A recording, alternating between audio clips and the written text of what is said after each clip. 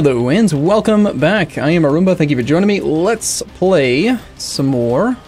Our campaign is Portugal. So I've gained a claim on Ajuran. I took a claim over on this province of Mombasa because of the coastal center of trade and the marketplace. We have the ability to fabricate claims on any colonial or trade company uh, region right now because of exploration and expansion. So we can just kind of skip the fact that we don't have adjacency and go straight for the estuaries, which would be cool. Meanwhile, we got this war going on over here, and I've got a claim on Ashanti as well. Ooh, that's actually part of the West African Charter. We should definitely take that province from them as well. I forget. I've already forgotten the effects of trade companies, but I know they're good. Get, like, naval force limit from inland provinces, which is cool. Where are you going, sir? Okay, you are going to intercept one of these one stacks, it looks like. So,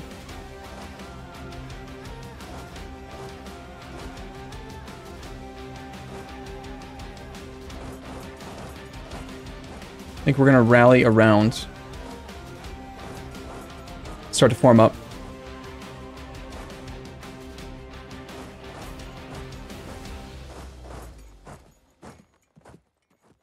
Now that is a fort. He should be stuck there. So you can actually go to Joma. One of you guys can try to push in. You can stay here for the moment.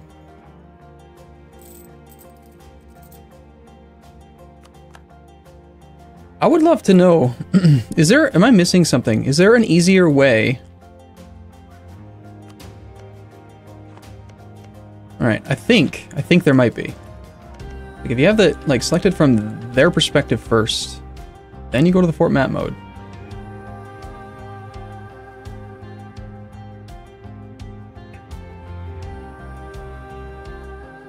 That is a different map mode altogether from this one. So there's this little tricky thing here.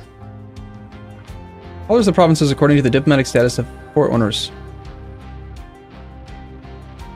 There's nothing in the tooltip at all that tells you that you can do this.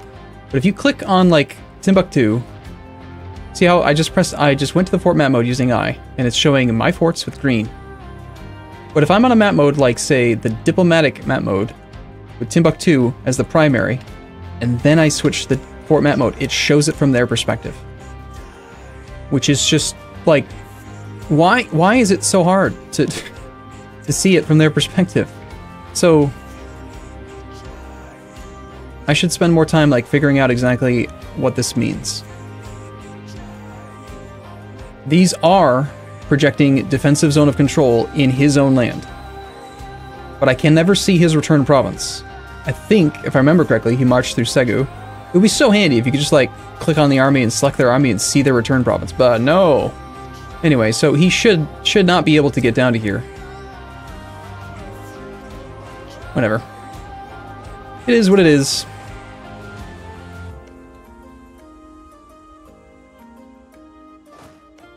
What is our goal in this war? Right now, Castile is 69 years old, and we still have the potential for a union over him, which would be pretty sick. Uh, call to arms would actually be actively bad right now. Us versus France would be just... It would be an interesting war. Hungary, France, Hungary, Ottomans, and Savoy. It would be a war of the century. And Castile's ruler is 69 years old. So let's cross our fingers, because that sounds like a shit ton of fun. I'd like to at least get you down to low enthusiasm. Let's dispatch a single infantry up to the capital.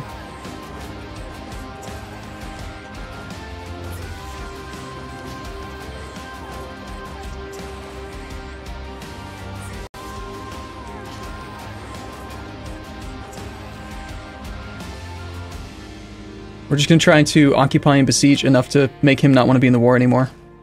Then we just do a quick peace deal and make it easy. Still win separatists at 80%.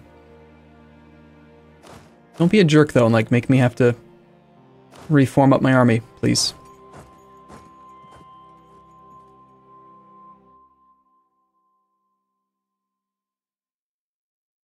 I'm confused. That's a fort. That's my zone of control. No, two the two distance rule. I wish they would just go back to the previous version that they had. I like that one much better.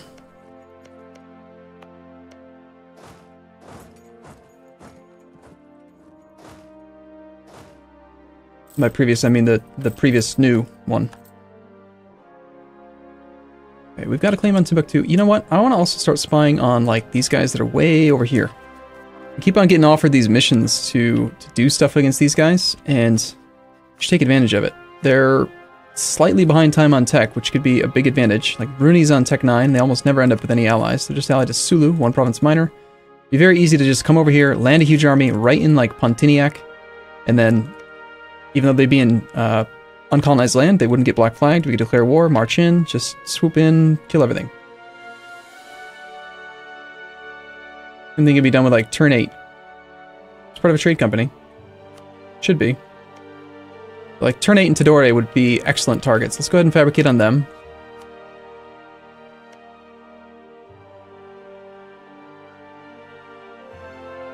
Why did I decide to make the key binding for diplomacy G instead of D? Oh, I remember. I used to have ASD for these three, and then I got rid of it because on this screen they used D to do this. So now D certainly makes a whole lot of sense for diplomacy. I should change that.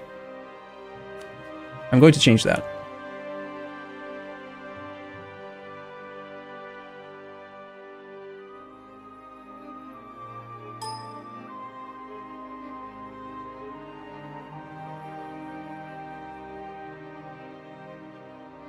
I'm going to do that after this episode.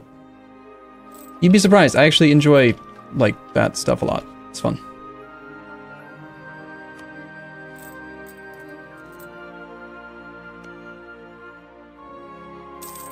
If you don't have enough trade power to fabricate, this button should just send this diplomat to go fabricate, like build up a spy network on there.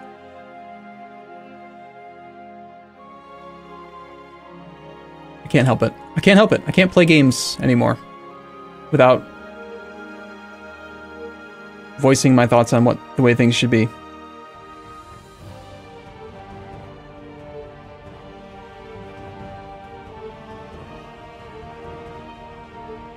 Okay, so... Uh, no! That's not a good one. Gain corruption. Okay, well, that's not as bad as it could have been. Just sit there politely and let me siege everything down. Don't train any more troops. Castile, I need you to die. They should add intrigue to the game so that you can murder people. That would be really fun too.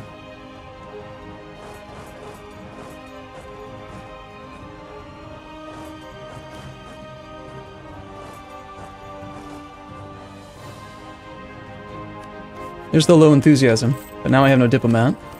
Getting counter-espionaged by Ajuran, so let's come back from that.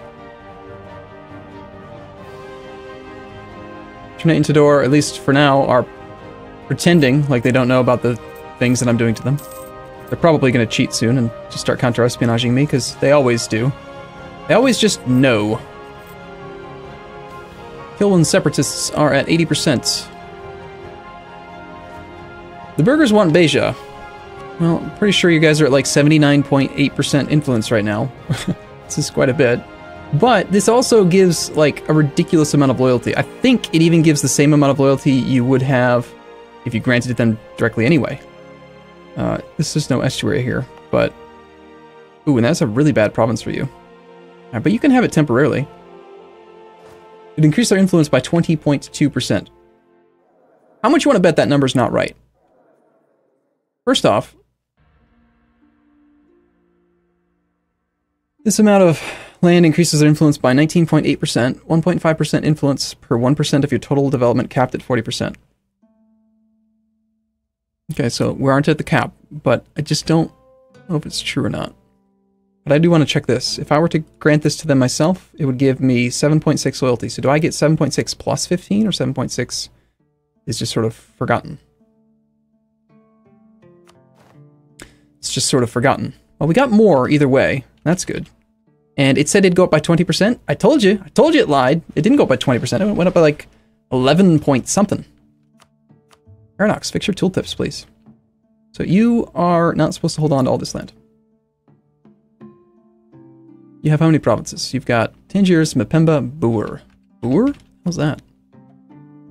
Oh, the gold mine, yeah. I do want you to have that. Looks like you're going to lose control of Tangier for now. That's not gonna be enough, is it? I guess maybe Mapemba. Really not ideal, considering that this is at 73% autonomy.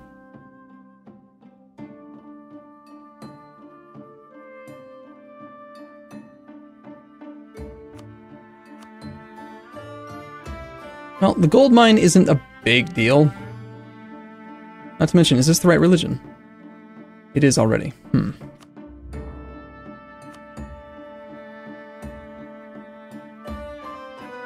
We're going to temporarily revoke that. We'll just give it to the, the, the clergy instead. Ooh, that actually puts them too high. How about the nobility then?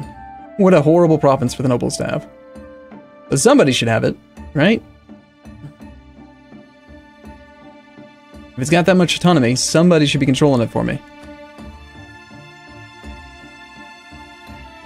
So make them temporarily disloyal, but we get rid of the disaster. That's what matters right now. Okay. You diplomat back.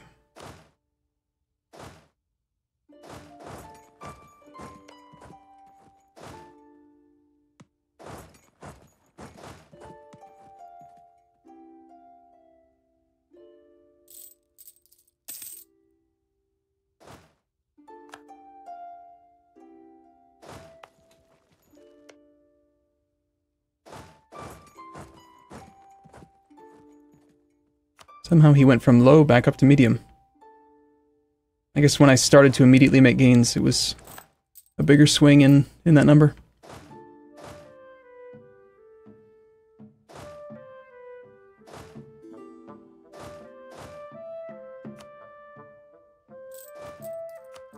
Kong? Kong wants access. Alright, sure, go ahead. Seems perfectly fine to me. How is that Explorer doing, by the way? He's in Goa. I could have sworn I saw him, like, plowing through the TI over here, so... Why hasn't he actually succeeded in his mission yet? Alright, what are we doing? We're waiting for Castile to die is what we're doing.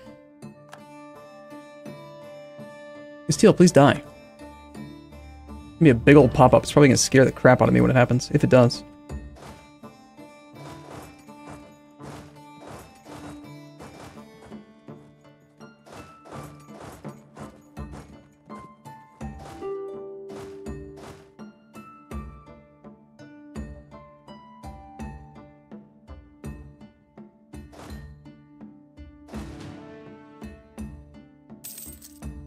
Okay, uh, Monarch points are okay. He's slowly making progress trying to get his fort back. Not going to be very likely he, su he succeeds in that mission, though. End of religious turmoil. They've gained some stab. We have colonialism against Great Britain. Continuing to take the land that should belong to me. How are you still on medium? Look at this. Your whole country is occupied. Alright, overextension. I finished some cores and I totally forgot to start coring new stuff, didn't I? Why, yes. Yes, I did.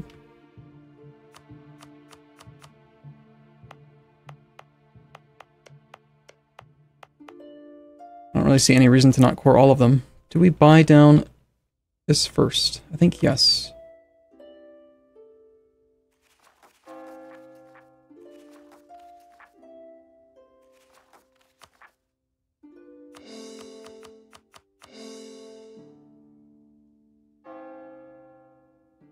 And these are actually going to be quite easy to convert now. The kill ones are mostly upset in Mozambique, Ibo, and over here. You should have the leader, in case the army actually fires.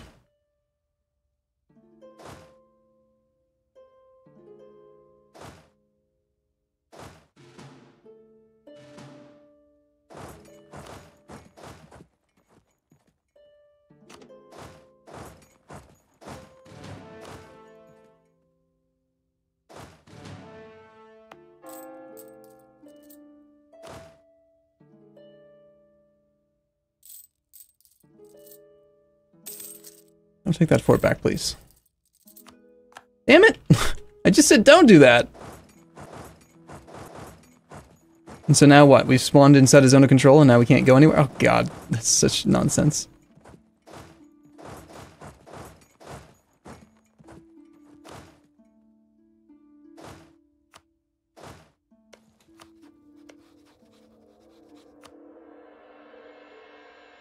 Well, I was hoping to get him to low enthusiasm, but apparently that's not going to happen. Don't really want to fight him. Don't particularly want a huge amount of land from this guy. I just kind of wanted to be at war to prevent the rebellious subjects from doing something annoying. So, let's say we took this province. It is part of...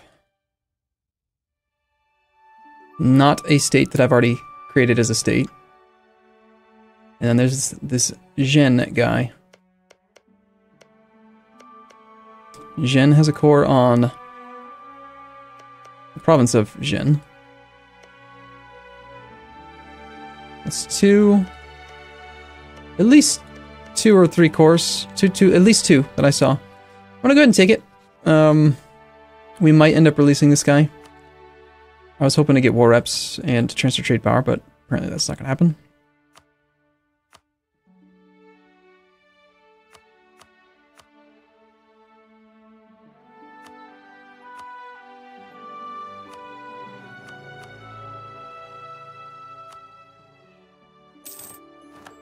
Seven percent chance, and they succeeded.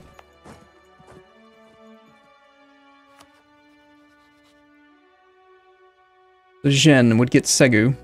We could go over the leader limit right, uh, the relationship limit right now. Just take the, the new subject. Or we could wait until we're able to integrate somebody else. We've currently got three. Oyo still has not fabricated claims on anybody. What a dummy.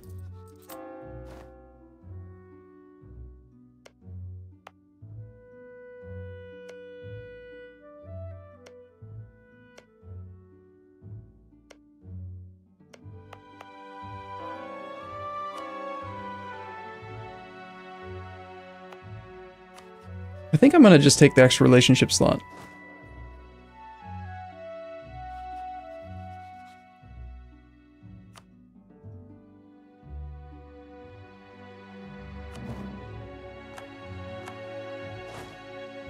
That's going to mean I have nothing to do in Africa, Northern Africa for a while. This whole region will be relatively stable.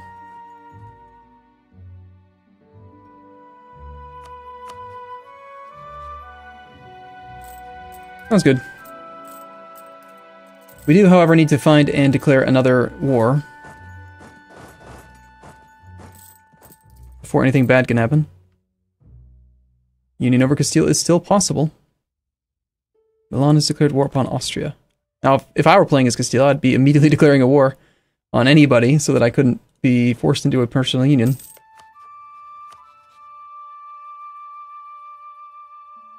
I'm not going to risk having the Ottomans attack me. Because if the Ottomans attack me, that puts Castile as the defender in the war. He'll honor the call, meaning that I cannot get the Union. So we're just going to declare the war now.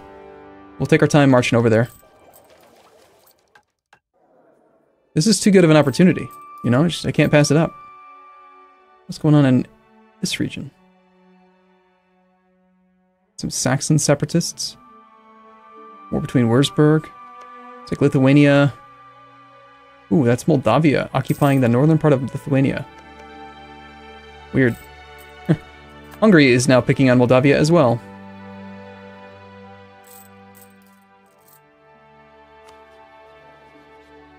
Alright, so our new subject of Zhen apparently started the game off with some debt. Cool. How did that happen? Whoa, he had like five loans? I just paid off like five loans. Did he exist earlier or something and have inherited debt? Well, I'm going to enable divert trade and we're going to improve with this guy a bit. Something else I could try is we could do like great power influence on you. I don't need a diplomat for that.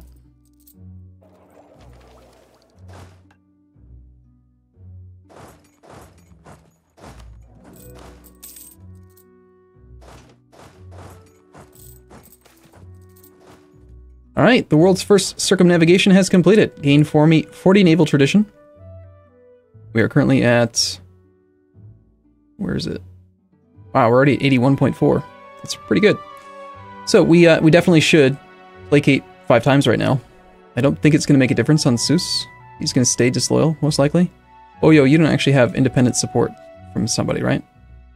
I don't think he does. I think he's just getting the alliance to Sus bonus. So we'll, we're, we're going to placate the crap out of Sus then.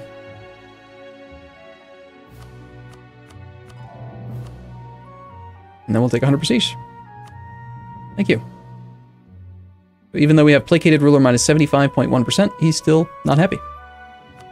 Without divert trade, he's finally below 100 though. Which means if I clicked five more times right now, I could actually make him loyal.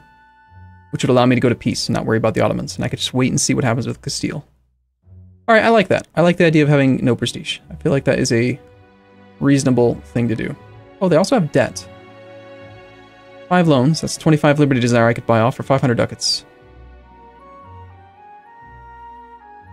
Now I'm going to just do the prestige.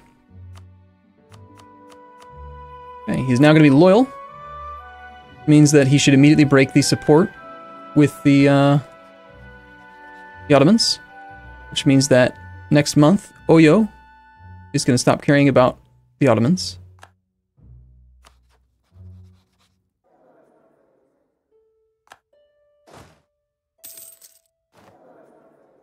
At least he should. A maintenance modifier and global settler increase. I think we do just take this right now. Let's put the small stuff, right? Mm, kill one separatist. Why are you still disloyal? Relative power of all vassals and the supporter to Ottomans. So even though you're loyal right now, you are still allowing your independence to be supported? I feel like you should have cancelled it by now. You should not be allowed to have a supporter.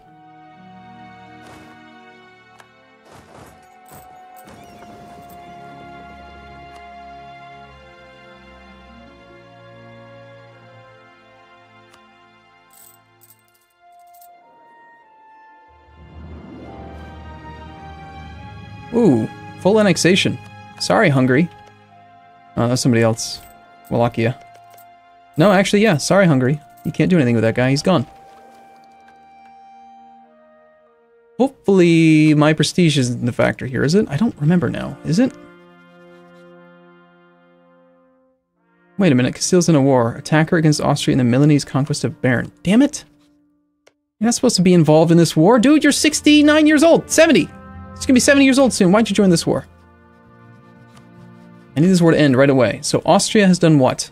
He has declared an offensive war at war with Lubeck Bremen, Hamburg, doesn't matter. Milan and Castile. So he's attacked Milan, defender against Milan, and the Milanese conquest of Bern. So Milan has decided to attack Sweden.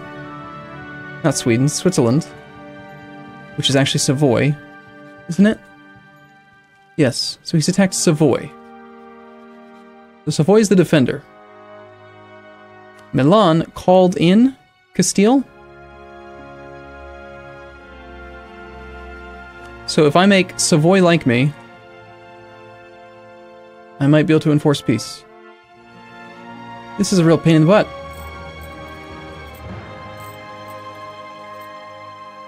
I'm gonna be so upset if I miss this window. No!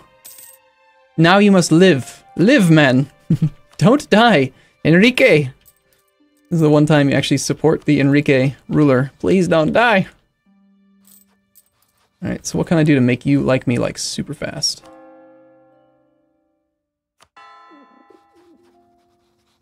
I think first off, I've got to start off by getting a, a diplomat working on improved relations just over time. And then I think we got to give up on one of these these guys. I'd like to be able to do both, but...